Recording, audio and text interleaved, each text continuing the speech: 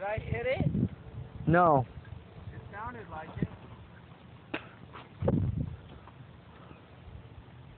Still recording? Yeah.